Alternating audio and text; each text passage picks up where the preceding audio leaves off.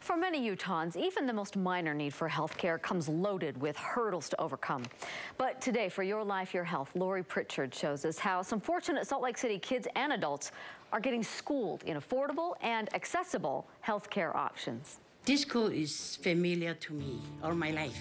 Miley Vea has deep roots in the central Salt Lake City neighborhood surrounding Lincoln Elementary. My kids were here, and now they're grown up and now, for her and many of her neighbors, the school's an unexpected place to go when health is an issue, thanks to the medical clinic located right inside. The clinic is based in the school, but it has a lot greater reach than just the school kids. Director Terry Faust notes this clinic is one of three innovative school based health centers run by Intermountain Healthcare in partnership with the Salt Lake City schools. We're somewhat unique, not only in Utah, but across the nation, where we, we see not only the school children, but also the services, general medical care is available to their parents, grandparents, and those that live in the neighborhood. Our population are immigrant type people.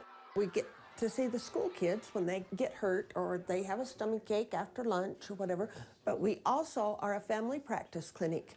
Anything that would be seen in a regular doctor's office, we see here. The schools provide the space, Intermountain Healthcare provides the services, subsidized as needed based on a patient's financial health. These familiar and flexible facilities remove many of the roadblocks to healthcare that lower income Utahns face every day. Access to healthcare is one barrier that, that it really addresses. I can walk over here when I have my appointment and see Dr. Carver. I love it. We receive inquiries around the country about this, this particular model and how to expand services beyond what's traditionally thought of as a school-based health center. It's an approach bringing healthcare to some Salt Lake City neighborhoods so often in need of a little extra care.